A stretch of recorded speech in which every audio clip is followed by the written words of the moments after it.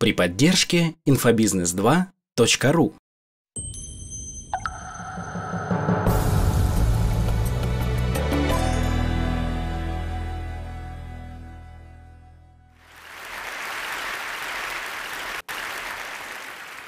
Человеческий голос. Инструмент, на котором мы все играем. Возможно, самый мощный звук в мире, единственный, который может спровоцировать войну или сказать «я люблю тебя». И все же у многих есть такой опыт. Они говорят, а их не слушают. Почему так? Как обрести такую силу речи, чтобы изменить мир? Мое предложение – есть целый ряд привычек, от которых нам следует избавиться. Здесь для вашего внимания собрал семь смертных грехов общения – я не утверждаю, что этот список исчерпывающий, но эти семь пунктов, думаю, довольно распространенные привычки, которые у нас всех есть. Первое – сплетни. Перемывать косточки тому, кого нет рядом. Не очень-то хорошая привычка, и всем хорошо известно, что тот, кто сплетничает при нас, через пять минут будет сплетничать о нас. Второе – осуждение. Мы знакомы с теми, кто склонен к этому в беседе. И довольно-таки сложно слушать кого-то, зная, что вас осуждают и хотят это делать. Третье – негативность. Ей очень легко поддаться. Моя мама последние годы жизни жила очень-очень негативной. Ее трудно было выслушать. Помню, как-то я ей сказал, сегодня 1 октября. А она ответила, знаю, не ужасно ли это? Трудно слушать, когда кто-то настолько негативен. Еще одна форма негативности – нытье. Это национальное искусство Великобритании. Наш национальный спорт. Мы недовольны погодой, спортивными достижениями, политикой, всем. А ведь нытье – вирусное бедствие. Оно не распространяет в мире свет и лучики. Оправдания. Все мы сталкивались с этим, да и сами искали себе оправдания. Некоторые как будто оснащены катапультой обвинений. Они перекидывают вину на кого угодно и не хотят нести ответственность за свои действия. Опять же, трудно воспринимать кого-то с таким поведением. Предпоследнее, шестое из семи – приукрашивание, преувеличение. Оно на самом деле объединяет нашу лексику. Например, если я вижу что-то поистине классное, как я это назову? И потом, конечно, это преувеличение становится ложью, абсолютным враньем, а тех, кто врет, нет желания слушать. И, наконец, догматизм. Смешение фактов и мнений. Когда эти вещи перемешиваются, как будто слушаешь впустую. Понимаешь, что тебя засыпают чужими мнениями, как будто они и есть истина. Трудно такое слушать.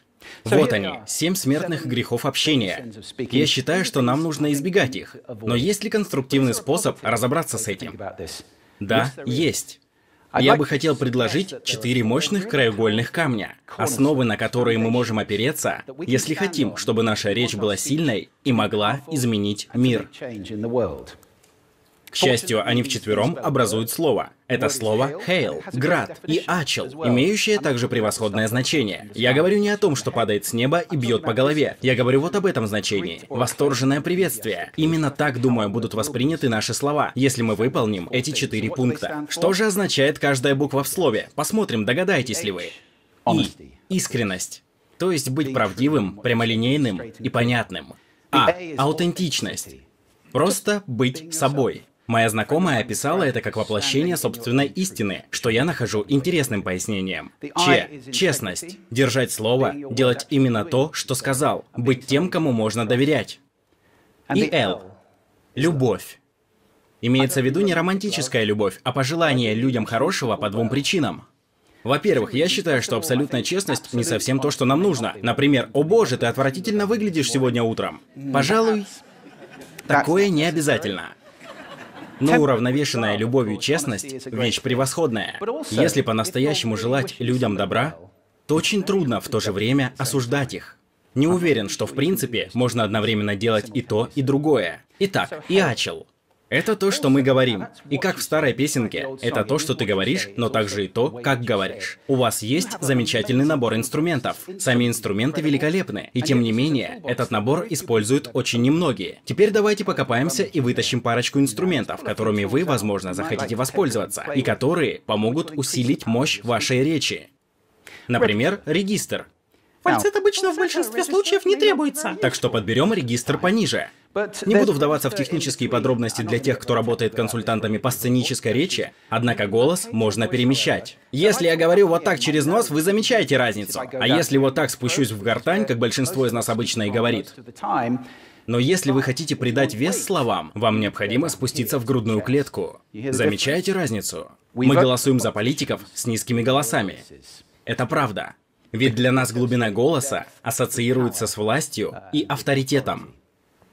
Это о регистре. Затем тембр, то, как ваш голос ощущается. Опять же, исследования показали, что мы предпочитаем богатые, мягкие, теплые, как горячий шоколад, голоса. Если ваш голос не таков, это еще не конец света, ведь его можно натренировать. Позанимайтесь со специалистом по сценической речи. Невероятные вещи можно вытворять с дыханием, осанкой и упражнениями по улучшению тембра голоса. Далее просодие. Я ее обожаю. Это совокупность ударения, тона, интонации. Это метаязык, используемый нами для передачи значения. Это первое, что придает смысл беседе. Тех, кто говорит на одной ноте, весьма сложно слушать, ведь у них отсутствуют элементы просодии. Вот как появились слова монотонный и монотонно. Сейчас популярна повторяющаяся просодия, при которой каждое предложение заканчивается на вопросительной ноте, даже если это не вопрос, а утверждение. Если повторять такое без конца, это ограничивает способность коммуникации через интонацию, что досадно, на мой взгляд. Поэтому попробуем пресечь эту привычку. Темп я могу быть очень взволнован, говорить очень быстро. Или же я могу замедлить темп, дабы выделить что-то. И, наконец, наш старый друг — тишина. Нет ничего плохого в небольшой тишине. Не так ли? Не стоит заполнять ее паразитами вроде «эм». Тишина может быть очень сильной. За руку с темпом идет высота голоса. Возбуждение можно передать только с ее помощью. Где ты оставил мои ключи? Где ты оставил мои ключи? Эти две манеры подачи несут несколько разные значения. И, наконец, громкость. Можно очень увлечься вариациями громкости. Прошу прощения, если я кого-то напугал. Или же я могу привлечь ваше внимание, понизив голос. Некоторые люди вещают без перерыва. Постарайтесь этого не делать. Это называется соткастинг. Навязывание вашей речи людям вокруг бесцеремонно и небрежно. Это нехорошо.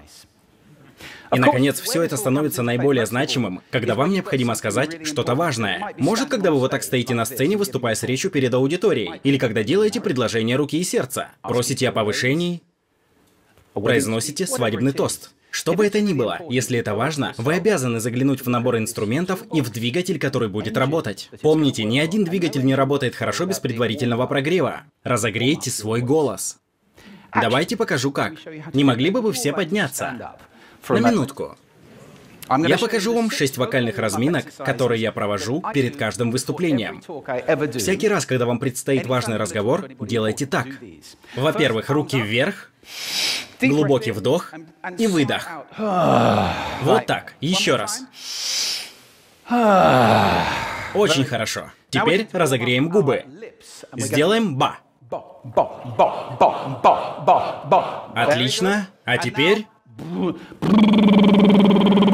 Так же, как в детстве. Теперь ваши губы оживают. Теперь разомнем язык резким ла-ла-ла-ла-ла-ла-ла-ла. Начинает хорошо получаться. Теперь раскатистая R, Как шампанское на языке. И, наконец, очень важный момент. Профессионалы называют его сиреной. Начинается с V и продолжается O. V высокая, O низкая.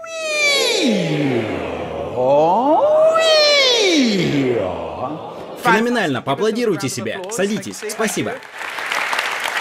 В следующий раз перед выступлением сделайте эти упражнения. Теперь же позвольте мне закончить, вложив идею в контекст. Очень важная мысль. Вот как обстоят дела. Мы не очень-то хорошо изъясняемся. Нас обычно особо не слушают в шумной обстановке с плохой акустикой. Я говорил об этом на этой сцене в разные моменты времени. Каким был бы мир, если бы мы четко говорили с людьми, слушающими осознанно в обстановке, служащей цели? Или если немного расширить, Каким был бы мир, если бы мы осознанно выдавали звуки и осознанно же эти звуки потребляли и проектировали обстановку специально для хорошего звучания? Это был бы мир, звучащий поистине прекрасно. Мир, в котором понимание было бы нормой. Вот моя идея, достойная распространения. Спасибо. Thank you.